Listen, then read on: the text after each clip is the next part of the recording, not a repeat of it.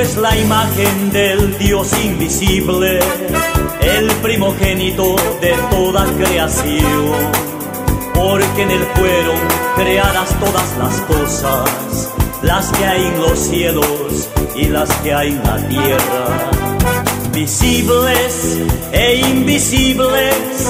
sean tronos, sean dominios, sean principados,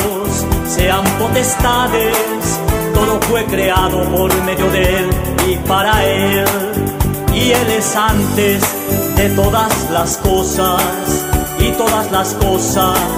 en Él subsisten. Y Él es la cabeza del cuerpo que es la iglesia. Y Él es la cabeza del cuerpo que es la iglesia. Él que es el principio, el primogénito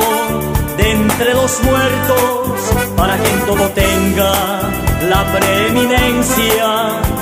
por cuanto agradó al Padre que en él habitara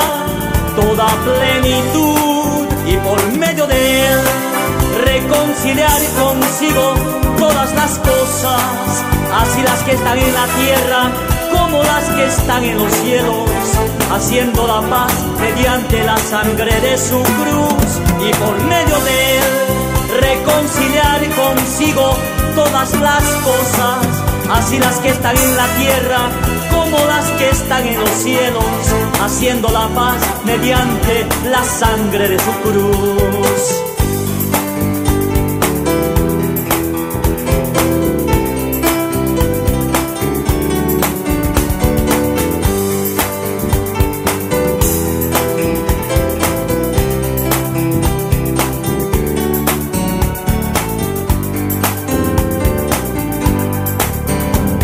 Es la imagen del Dios invisible, el primogénito de toda creación,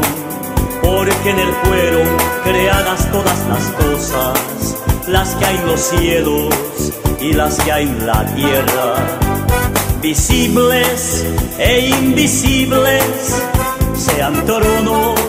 sean dominios, sean principados,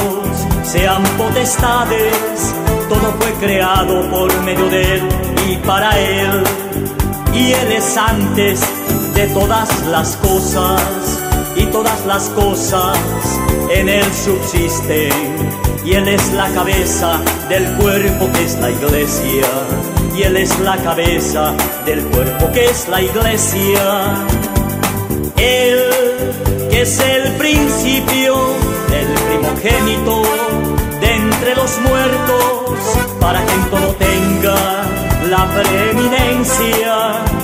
por cuanto agradó al Padre que en él habitara toda plenitud y por medio de él reconciliar consigo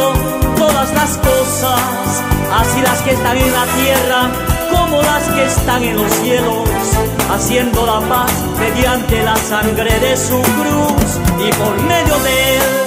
reconciliar consigo todas las cosas, así las que están en la tierra como las que están en los cielos, haciendo la paz mediante la sangre de su cruz.